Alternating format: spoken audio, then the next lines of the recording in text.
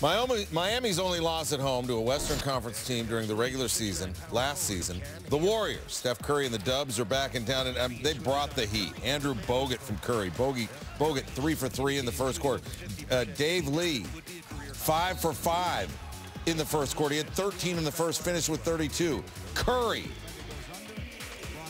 step back, Bobby Jack, he was three for three from three in the first quarter. The Warriors shot 15 of 19, 79% in the first quarter, illustrated in this shot chart. Second best field goal percentage by any team in the opening period of the season next to the Rockets. Still, they led just by just five because, listen, Miami's got some players too. Now, game of one-on-one, you're going to take LeBron James over Steph Curry. But uh, one-on-one in this highlight, I'm telling you, take Curry. He hits the three.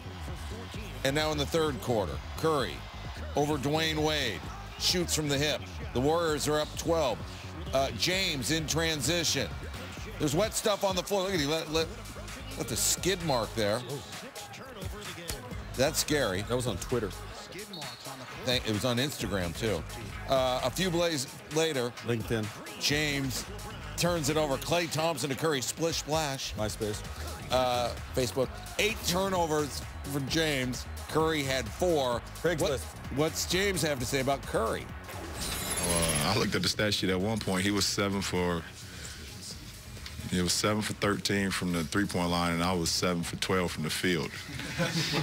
I was like, oh, oh, he got more threes attempts than I got field goal attempts. So, guy that can shoot the ball like that, you really just hope that he misses. Yeah, actually, he was 7 of 12 from the 3 through 3, and James was 7 of 12 from the field through 3. James has 26. It's a four-point game, but Curry, game high in points, 36. Game high in assists, 12. Game high in steals, 4. And he made eight threes, the same as all Miami.